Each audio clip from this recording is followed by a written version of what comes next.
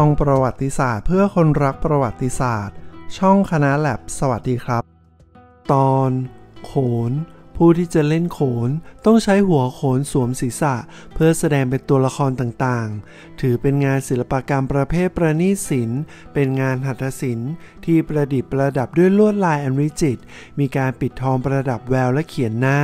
ปั้นลาย แสดงลายเส้นให้ปรากฏเป็นความรู้สึกทางอารมณ์อย่างชัดเจน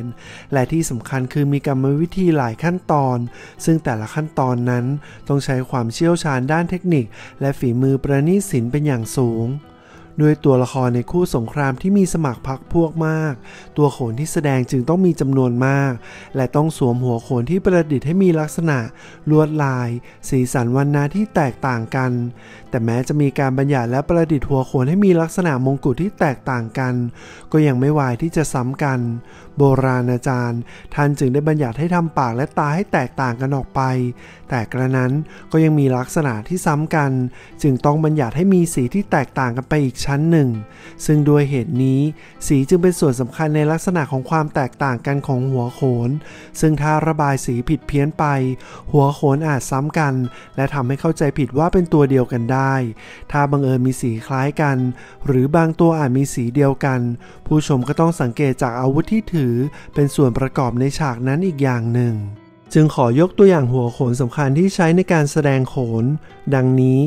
1. พระราม พงกษัตริย์ เดิมคือพระนารายณ์อวตารลงมาเกิดเพื่อปราบทศกัณฐ์มีคุณสมบัติเฉพาะตัวเวลาแสดงอิทธิฤทธิ์จะปรากฏเป็นสี่กรทรงอาวุธตรีคาถาจักสัง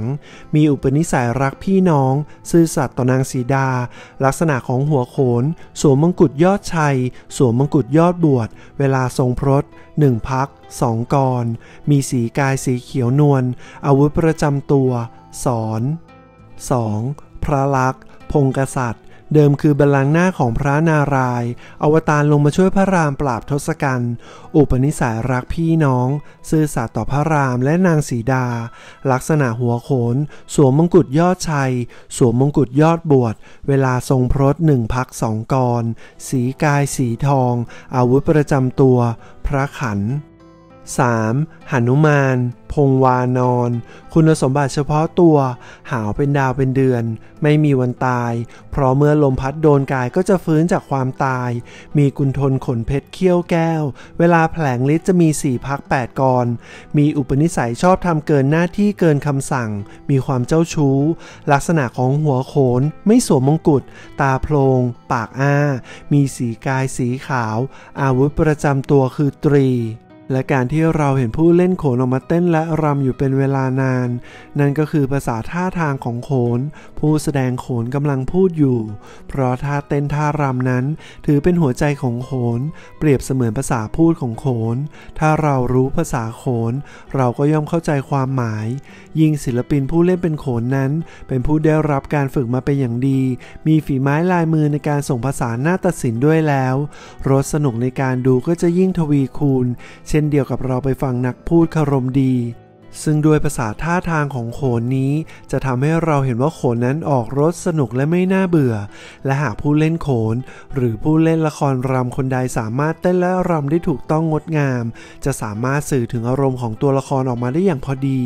ผู้นั้นจะได้รับยกย่องว่า เป็นผู้ที่ตีบทแตก ซึ่งการแสดงหรือการเล่นโขนนั้น จะต้องแสดงภาษาท่าทางของโขนให้ประสานกลมกลืนไปกับจังหวะของคำภาคคำเจรจาคำขับร้อง และเพลงหน้าภาค ซึ่งถือว่าเป็นหลักสำคัญของการเต้นและการรำท่าทางที่โขนนำมาแสดงเหล่านี้ จึงต้องมีความงดงามแตกต่างไปจากกริยาธรรมดาสามัญของมนุษย์ทั้งภาษาท่าทางจะสามารถสื่อสารให้ผู้ชมเข้าใจได้นั้น ในภาษาโขนแบ่งออกเป็น 3 ประเภท คือ 1. ท่าทางที่ใช้แทนคำพูด เช่น ปฏิเสธ สั่ง เรียก ไป มา 2. ท่าแสดงกริยาอาการหรืออิริยาบถ เช่น เดิน นั่ง นอน 3. ท่าที่แสดงอารมณ์จากภายใน เช่น รัก โกรธ ดีใจ เสียใจ ร่าเริง เป็นต้น แล้วเนื่องด้วยการแสดงโขนนั้นเป็นเรื่องราวของชนชั้นกษัตริย์ การแต่งกายจึงมีความวิจิตรใกล้เคียงกับเครื่องทรงขององค์พระมหากษัตริย์ แต่แรกนั้นมีการประดิษฐ์เครื่องแต่งตัวชุดนายโรง หรือตัวพระขึ้นก่อน และมีตัวละครแต่งกายแบบนี้อยู่เพียงคนเดียว จึงเรียกกันว่า ตัวยืนเครื่อง และเรียกเครื่องแต่งกายแบบตัวพระว่า ยืนเครื่อง ซึ่งต่อมาไม่ว่าจะเป็นตัวเอกหรือตัวรอง ก็จะแต่งยีนเครื่องทั้งนั้น ต่างกันก็แต่เครื่องประดับศีรษะ ซึ่งเป็นแบบฉบับของเครื่องแต่งกายโขนละคร ที่ยังใช้สืบเนื่องมาจนถึงปัจจุบัน ซึ่งการสวมเสื้อแขนยาวของตัวโขนนั้น นอกจากสวมให้ครบตามแบบฉบับของเครื่องแต่งกายยืนเครื่องพระแล้ว สีของเสื้อที่สวม ยังเป็นการบ่งบอกถึงสีผิวของโขนตัวนั้นๆ อีกด้วย ยกตัวอย่างเช่น ทศกัณฐ์พระราม กุมภกันอินทรชิต พระอินทร์ล้วนมีผิวกายสีเขียวตามพง ตามบทบาทในเรื่องรามเกียรติ์ก็ต้องสวมเสื้อสีเขียว แล้วว่าไม่ว่าจะเป็นยักษ์ ลิง หากมีผิวกายสีใดก็ต้องสวมเสื้อสีนั้นตามบทบาทในเรื่องรามเกียรติ์ซึ่งในส่วนของผ้านุ่งของผู้แสดงโขนนั้น ผู้จัดเครื่องแต่งกายโขนจะจัดสีของผ้านุ่งให้ตัดกับสีเสื้อ เช่น ใส่เสื้อสีเขียวให้นุ่งผ้าแดง ใส่เสื้อสีแดงให้นุ่งผ้าเขียว เพื่อเน้นความโดดเด่นของเครื่องแต่งกายนั้นให้งดงามมากยิ่งขึ้น และสุดท้ายนี้จากภาพพระบรมฉายาลักษณ์ พระบาทสมเด็จพระจุลจอมเกล้าเจ้าอยู่หัวรัชกาลที่ 5 ในฉลองพระองค์เครื่องต้น ได้มีผู้นำมาศึกษาเปรียบเทียบกับเครื่องแต่งตัวโขนละครไทย แล้วพบว่ามีความใกล้เคียงกับเครื่องต้นขององค์พระมหากษัตริย์ เช่น มีฉลองพระกรน้อย ฉลองพระองค์สีย่นนอกราพระองค์หนามขนุน